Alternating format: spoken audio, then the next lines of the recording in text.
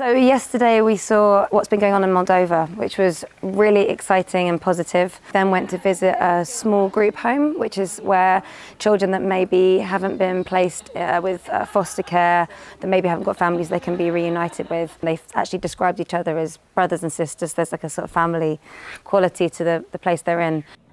So I met a 14 year old boy who's now been reunited with his family after being in an institution. So he's now living with his uncle and his auntie. He seemed happy, he was thinking about the future, thinking about the things he might want to do.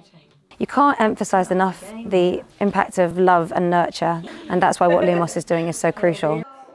In Moldova, Lumos has achieved great things, closing down institutions, bespoke options for those children, whether it be being reunited with family members, putting them in foster care, the small group homes, helping the schools be inclusive for all children.